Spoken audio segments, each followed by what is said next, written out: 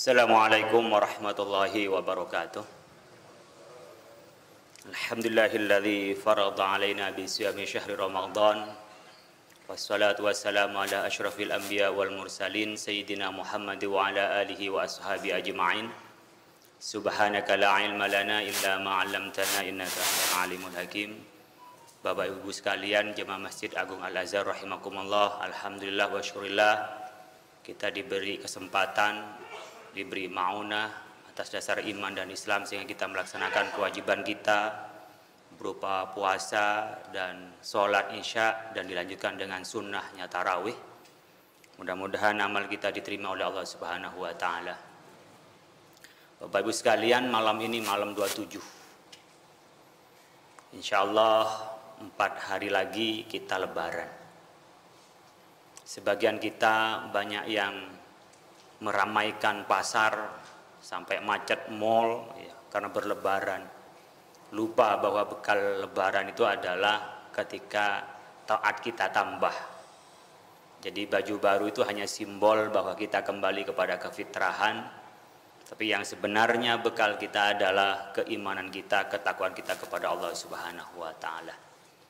Jangan sia-siakan ibu bapak sekalian untuk mengikuti sunnah Rasulullah SAW karena ya'takifu fi kulli Ramadan asyrata ayyam wa kana fil amil ladzi qabida fihi ya'takifu isyrina yauman. Jadi Rasulullah SAW itu kalau bulan Ramadan 10 terakhir itikaf.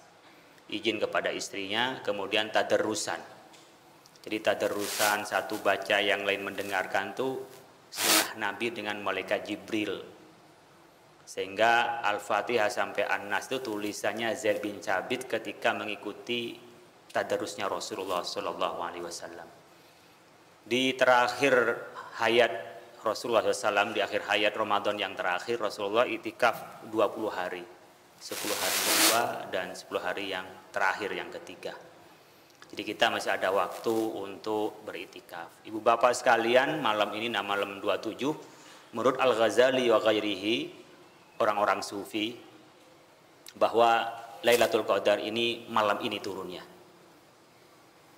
Meskipun Allah tidak memastikan dan sengaja oleh Allah Subhanahu wa taala disamarkan biar kita tidak peta umpet pas Lailatul Qadar keluar yang lainnya tidak. Tapi kaum sufi menyebutkan dalam kitab I'anat Talibin ala Hali Al-Fadhi Fathil Mu'in halaman 290 itu kalau Al-Ghazali ghairihi annaha ta'lamu fihi bil yaumil awal min asy-syahri fa in kana awwaluhu yaumal ahadi atau yaumal arba'i fa ya tis'in wa ishrin kalau awalnya Ramadan itu hari Ahad atau Rabu maka Lailatul Qadar turunnya pada tanggal 29 atau yaumal isnain kalau hari Senin wahia Lailatul Ihda wa Ishrin maka turunnya Lailatul Qadar bertanggal 21 au yaumul sulasya'i awil jum'ati fahiya Lailatul sab'in wa Ishrin kalau awalnya Selasa atau Jumat kita memulai Ramadan hari Selasa.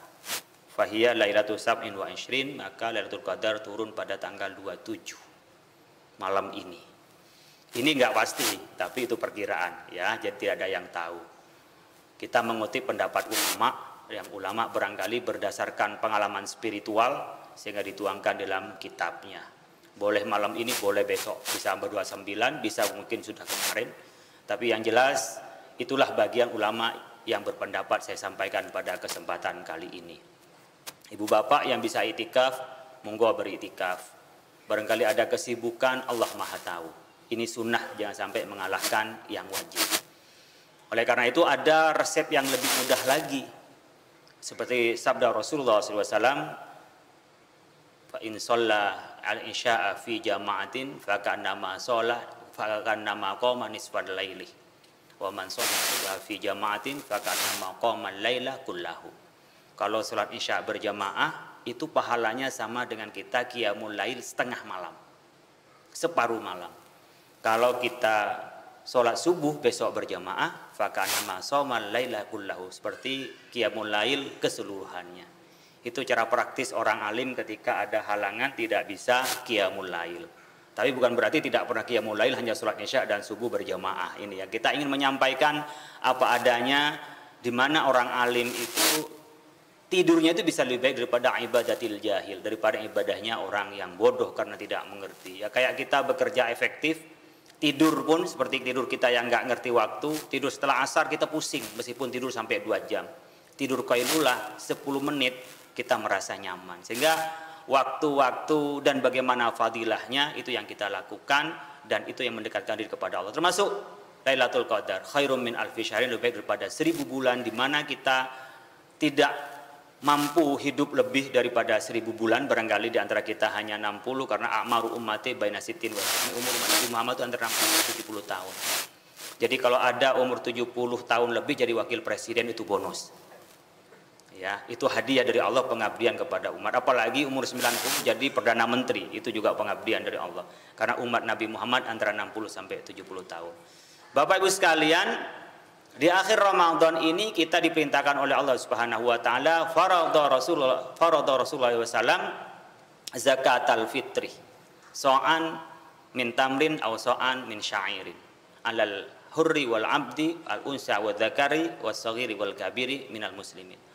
Rasulullah SAW tentu Allah Subhanahu wa taala faradallahu Subhanahu wa taala melalui rasulnya tentunya Rasulullah adalah zakat fitrah, satu sok dari kurma, satu sok atau satu sok dari gandum. Pertama, kurma dan gandum. Ya. Mengapa kurma dan gandum? Karena itulah makanan pokoknya. Maka ahli fikih nyebut kutil balad, makanan pokok yang menguatkan. Kita kan nggak merasa makan kalau belum makan nasi. Dulu di sana nggak merasa makan kalau belum makan gandum. Makanya dulu ketika kelaparan jamaah haji Indonesia bukan nggak ada makanan, roti banyak, minuman banyak, tapi nasinya belum datang itu belum makan. Saya sama itu, kalau belum makan nasi belum merasa makan, maka disebut dengan makanan pokok.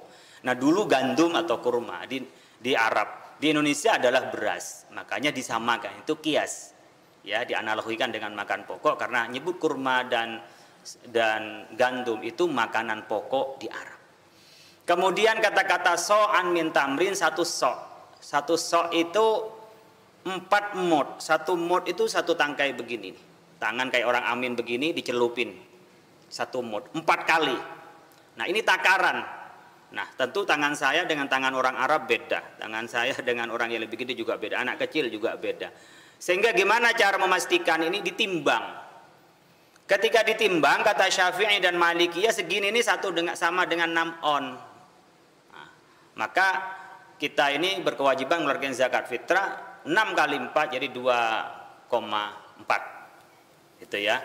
Ada yang mengatakan 6,5 seperti Hanabila berarti 6,7 6,5 on per satu mod kali 4 nah berbeda lagi dengan pendapatnya Abu Hanifah 7 on. Berarti dicelupin gini 3 kilo 8 gram. Kilogram koma kilogram itu Nah, ini perbedaan-perbedaan ulama di dalam melakukan ijtihad. Nah, Indonesia banyak mematok 2,5 zakat fitrahnya. Nah, ada yang mematok sebagian tempat 2,7 saja, tengah-tengahnya lebih dekat tengah daripada 2,5 antara madhab Hanafi dan madhab uh, Syafi'i. Nah, kalau lebih aman berapa? Keluarin aja 3 kilo. Lebihnya dari itu pasti jadi sedekah. Kalau kurang kita dosa, kalau lebih jadinya jadi sedekah. Jadi kalau mau zakat fitrah, ya udah 3 kilo aja keluarkan. Pertanyaan berikutnya, gimana kalau pakai uang? Ini yang lagi viral, saya jawab di mana-mana ya. Saya kemarin juga di iNews sampaikan ini, tadi saya juga tulis di iNews, eh, Sindo News. Saya tulis ini kan terlalu banyak yang bertanya, saya capek jawabnya, udah tulis aja, saya ngomong biar diviralkan. Tapi kesempatan kali ini saya live dengan Bapak Ibu sekalian menyampaikan ini. Nah, Bagaimana dengan uang? Memang ijtihad ulama seperti Maliki dan Syafi'i nyebutnya karena so'an min tamrin disebut tamr atau syair gandum. Maka berarti yang dikeluarkan harus memang yang dimakan oleh kita. Namanya juga zakat fitrah, zakat dari jiwa kita. Maka yang dikeluarkan adalah makanan itu. Yang makanan itu akan mempengaruhi pada kita. Makan barang halal, haram itu mempengaruhi pada kita. Maka ketika zakat fitrah, keluarkan apa yang dimakan itu. Ia mengatakan tidak boleh diganti dengan yang lain. Ini pendapat orang yang mengatakan nggak sah zakat fitrah kecuali mengeluarkan berasnya.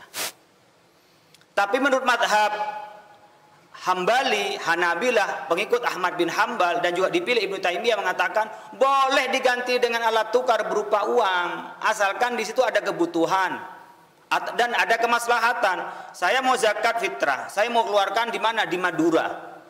Ya, ini nggak boleh pulang kampung kan? Jadi saya nggak bisa pulang. Masa saya nenteng mau bawa zakat fitrah ke Madura, habis mau ongkosnya. Maka apa caranya? Dia udah ditransfer aja lebih mudah. Ada masalah, ada kepentingan di sana mungkin lebih perlu daripada di kita. Sekitar kita udah bisa dikasih. Udah zakat fitrah dikirimkan ke sana. Itu kata Ibn Taimiyah boleh. Tapi Abu Hanifah mutlak boleh diganti dengan apa? Dengan uang bayarnya. Ini yang diambil oleh masyarakat Indonesia termasuk Ahmad bin Hambal dan pendapatnya Abu Hanifah. Kenapa? Karena ketika faradha Rasulullah SAW zakat al-fitri ya, mewajibkan zakat fitrah apa tuhratan lisaimi minal lagwi warafas. Jadi zakat fitrah itu tujuannya mensucikan orang yang berpuasa. Barangkali pada saat berpuasa sering kita menghabiskan waktu sia-sia, tidur terus. Bangun tidur lagi, tidur lagi, bangun lagi, bangun tidur Mbah Surip lah ya. Bangun tidur, bangun tidur. Lah itu sia-sia. Begitu juga kadang-kadang kita sia-sia main WA, main media sosial itu ngomong yang nggak benar itu disucikan dengan apa? Tuh rotan minal laghi dari hal-hal yang sia-sia warrafasi hal yang buruk itu dibersihkan dengan zakat fitrah kita. Yang kedua, tuh matan lil masakin menjadi makanan kepada orang miskin. Nah kalau jadi makanan bagi orang miskin, kalau orang ngasih beras semua, gimana masaknya? Sekarang nggak ada kayu di kota, pakai gas. Apakah dikasih beras bisa dimakan? Nggak bisa. Maka katanya Abu Hanifah pada saat kita ini membutuhkan uang, ya uang itulah yang lebih utama sehingga ada berasnya, ada uangnya beli lauknya. Karena nggak bisa kita zakat fitrah pakai sayur, zakat fitrah pakai ikan. Sementara makan perlu dengan ikan, perlu juga dengan sayur. Maka dengan uang itu bisa lebih afdol, lebih utama katanya Abu Hanifah. Saya ingin mengutip dari Al-Qaradawi dalam kitab Fikih Zakahnya menyebutkan bahwa Rasulullah SAW dulu menyebutkan dengan tamr, kurma, syair, gandum karena pada saat itu lebih mudah makanan daripada alat tukar berupa uang. Dulu dinar dan dirham, emas dan perak. Saat itu sulit untuk kita lebih sulit maksud saya menggunakan uang daripada menggunakan makanan karena orang-orang saat itu di rumahnya pasti menyiapkan makanan. Karena tidak mudah berbelanja, maka makanan itulah yang lebih mudah orang mengeluarkan zakatnya. Itu Al-Qaradawi menyebutkan dalam kitab Fikih Zakat. Mana yang bisa diambil?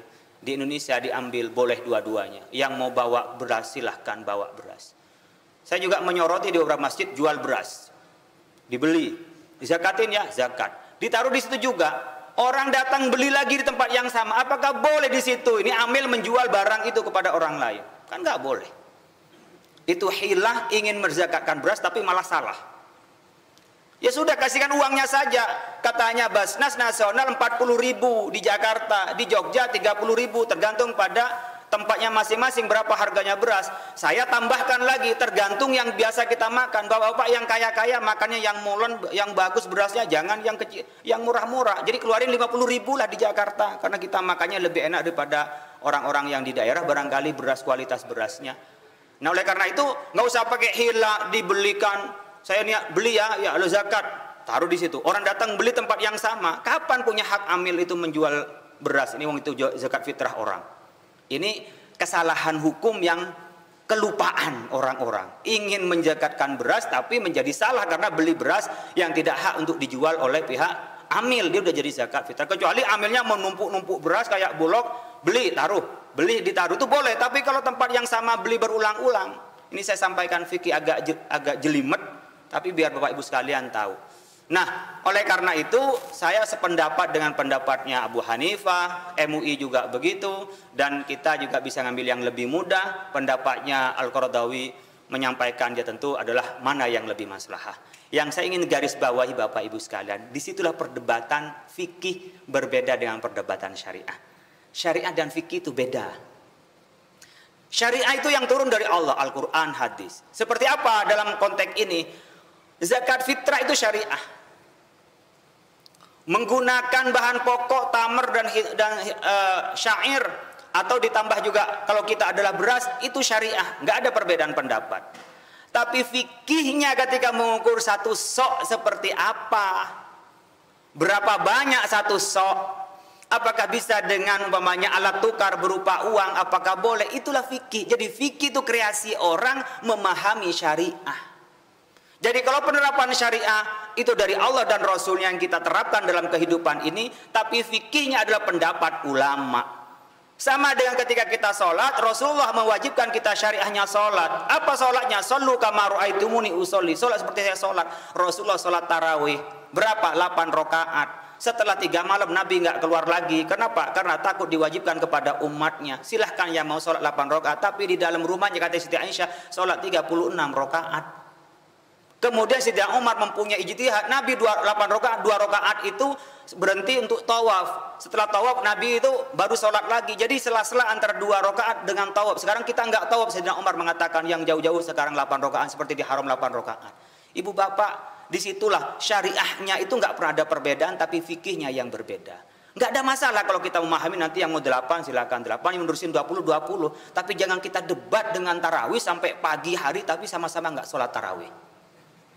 Ini yang nggak boleh. Apalagi sampai berantem sesama muslimnya. Padahal memperdebatkan syariah, memperdebatkan fikihnya, sementara dia tidak pernah menjalankan ajaran agamanya. Terima kasih. Wallahul muwaffiq ila Assalamualaikum warahmatullahi wabarakatuh.